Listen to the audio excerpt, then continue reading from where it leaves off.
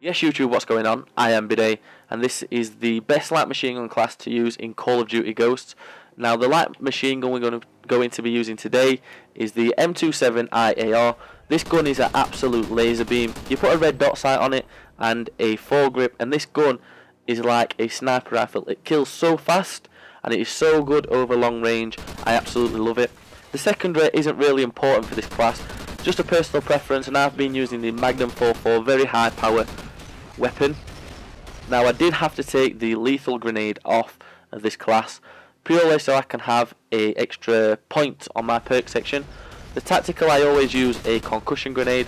If you do manage to hit an enemy then it is going to be an easy easy kill for you.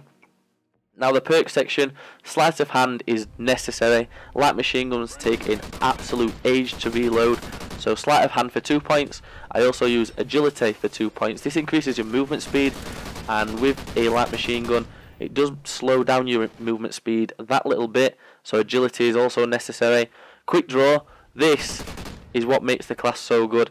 Makes your aiming so quick so you can kind of run and gun with this class if you've got quick draw. That was for three points. And for two points focus you should always have focus on your class. It can make you win those 50-50 gunfights. So let me know in the comment section if you use this class and be sure to leave a like subscribe all of that jazz and I will see you again tomorrow. Bye